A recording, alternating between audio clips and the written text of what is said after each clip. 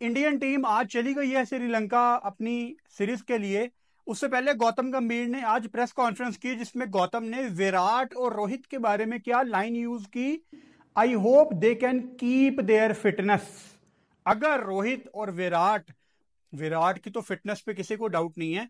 अगर रोहित अपनी फिटनेस बरकरार रखते हैं तो 2027 में मतलब किसको नहीं चाहिए होगा रोहित शर्मा के लेवल का बैटर यही बात जब मैंने दस दिन पहले की थी कि अगर रोहित शर्मा को ओडीआई वर्ल्ड कप खेलना दो हज़ार सताइस का तो उनको अपना पेट अंदर करना पड़ेगा।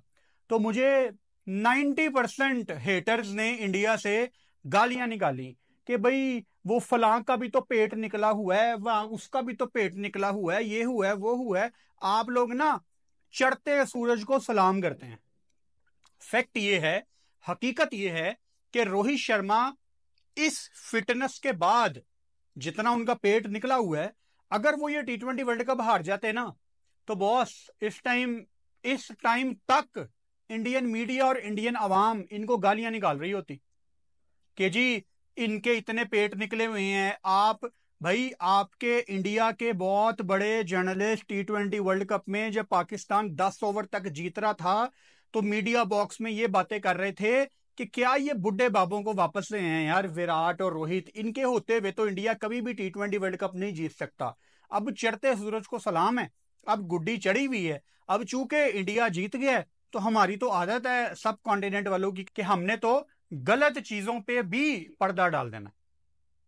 हकीकत यह है लॉजिकल बात यह है कि गौतम गंभीर ने कहीं ना कहीं एक क्लियर मैसेज दे दी है कि जी अगर वो अपने आप को फिट रख सकते हैं, जो कि अगेन कोहली की फिटनेस पे हमें कोई डाउट नहीं है। अगर हमें डाउट है तो वो रोहित की फिटनेस पे है। और रोहित की भी बहुत बड़ी ज़िम्मेदारी है कि वो अपनी फिटनेस पे काम करें। मैं हमेशा, जब भी रोहित शर्मा की फिटनेस की बात करता हूँ, मैं एम एस धोनी की एग्ज़ाम्पल देता हूँ। एम एस धोनी ने चेन्नई के लोगों को गिफ्ट देनी थी एक आईपीएल खेल के, कि जी मेरा इनको तोहफा है। तो एम एस ने क्या किया? जिम ज्वाइन किया, अपना फ़ूड अच्छा किया, अपना वज़न कम किया, अपना पेट थोड़ा सा अंदर किया, ज़्यादा नहीं थोड़ा सा अंदर वो कर सके थे। अपनी फिटनेस इस काबिल बनाई कि वो टीवी पे एक क्रिकेटर की तरह दिखें फिट दिखें। उन्होंने अपनी बॉडी पे काम किया और फिर उन्होंने आईपीएल का सीज़न खेला। यानी अगर तो पूरा भारत ये चाहता है, शर्मा खेलें 2027 का वर्ल्ड कप जिस, जिसका मुझे बहुत डाउट है, क्योंकि बहुत दूर है अभी। And I think Rohit Sharma Champions Trophy, शायद उसके बाद वो रिटायरमेंट अनाउंस कर दें। डजेंट मैटर क्या डिसीज़न होता है चैंपियंस ट्रॉफी का। आई थिंक वो ज़्यादा ही निचोड़ लेंगे आप उनको, ज़्यादा निचोड़ने की आप उनको बात करेंगे, ये बहुत ज़्यादा हो जाएगा।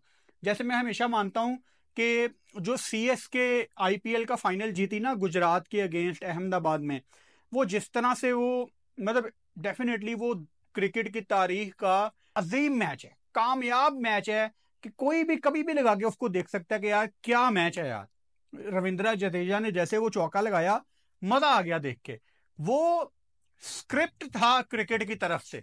स्क्रिप्ट से मेरा मतलब है it was the best moment for M S Dhoni to announce his retirement लेकिन उन्होंने क्या किया? मजीद उसको लटकाया।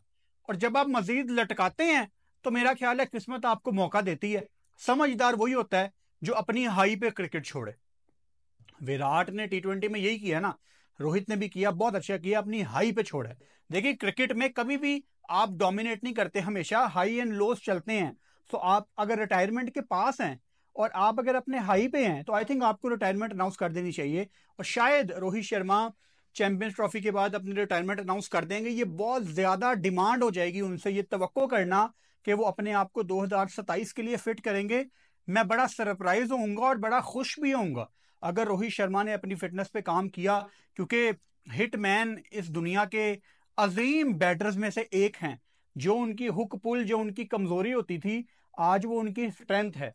तो हम, हमें तो बड़ा मज़ा आता है टीवी पे रोहित शर्मा को देखने का, जब वो हुक पुल लगाते हैं, स्पेशली कभी कभी ड्राइव भी खेलते हैं, कट शॉट भी उनकी बड़ी अच्छी है। तो एक एक बेहतरीन पैकेज है रोहित शर्मा। अगर वो फिट हो जाता है तो 2027 का वर्ल्ड कप देखने का बड़ा मज़ा आएगा, इंडिया, इंडियन फैंस को। क्योंकि देखें, साउथ अफ्रीका में ज़्यादा मैच होंगे इंडिया के। साउथ अफ्रीका, जिम्बाब्वे और नबीबिया में ये वर्ल्ड कप है। यानी बाउंसी विकेट पे, यानी बॉल मुँह पे आएगा। जब बॉल मुँह पे आता है तो हुक पुल लगती हैं। तो वहाँ पे रोहित शर्मा को बड़ा मज़ा आएगा बैटिंग करने का, अगर उन्होंने अपने आप को फिट रखा। सो आज की खबर यह है कि इंडियन टीम श्रीलंका के लिए चली गई है और वहाँ जाने से पहले कोच गौतम गंभीर ने ये क्लियर बोला है कि अगर रोहित शर्मा और विराट कोहली अपनी फिटनेस रखते हैं बरकरार 2027 के ओडीआई वर्ल्ड कप में लाजमी उनको कंसिडर किया जाएगा।